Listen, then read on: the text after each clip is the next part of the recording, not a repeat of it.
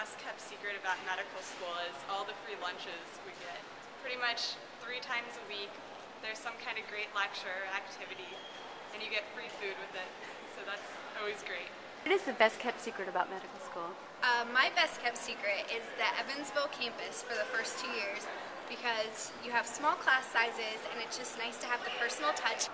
Something Probably that how probably how great the great the people are here. Like you sometimes come into medical school thinking you might come into like group, like nerds or geeks, but they're all they're all really like great people in their own right. And it's just it's interesting to see all these people come in, all the different people, and that, that's something that, that we don't always we don't always hear, we don't always see. what is the best kept secret of medical school? Um, Wishard's TCBY machine.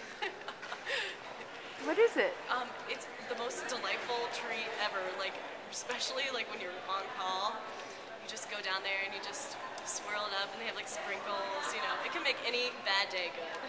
We hang out, watch sports. You know, I have time for the activities and interests I used to have. So, So it's not as hard as you thought? not all the time. it has its moments, but even when you're studying, I mean, you, you go home and, and study based on what you see in your patients, and so it just even studying isn't as bad as I thought it would be.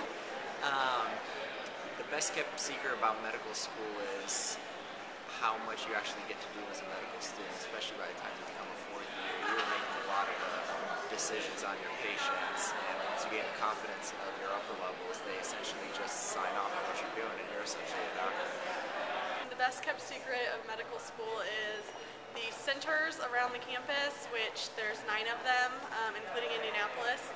They're really actually a great place to go. I know started off, I had originally hoped that I would be in Indianapolis, but I was in my, placed in Muncie, which was not my first pick or my second pick. But it turned out to be excellent. The doctors there were great, um, and having a small class size, we had 20 students you really got to know each other, you became friends, you found things to do outside of the class time, which is really important because you need to have a break outside of classroom time.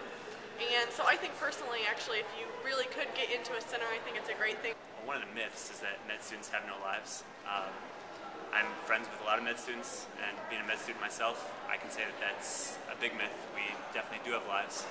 Um, they're not as fulfilling or complete as maybe we'd like them to be, but we, uh, we all have hobbies, we all have fun, um, we all make time for friends, for family.